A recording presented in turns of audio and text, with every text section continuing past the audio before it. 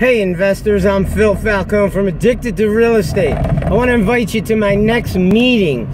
For those of you who've come to my Addicted to Real Estate meetings, I always hold them in Warminster, but I'm moving them to my old turf in Northeast Philly. I have reserved Maggie's Waterfront Cafe at Linden Avenue Boat Docks, right by Linden in Frankford, right by the Academy Road exit of 95. Just look up Maggie's Waterfront Cafe, 7 p.m. And we're gonna come on out. We're gonna be talking about how to close more deals when you're in front of sellers. Okay, how to make sense of the situation quickly and close more deals.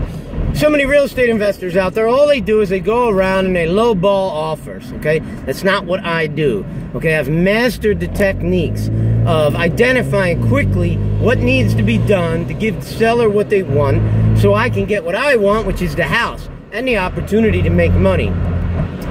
7 o'clock, and I'm going to teach you these things at Maggie's Waterfront Cafe. Make sure you're there. In order to sign up for the meeting, go to meetup.com and look for Addicted to Real Estate, or go to my website, addictedtorealestate.com with the number two, addictedtorealestate.com. Put your name and email address in, and I'm going to send you an invitation to this meeting, okay?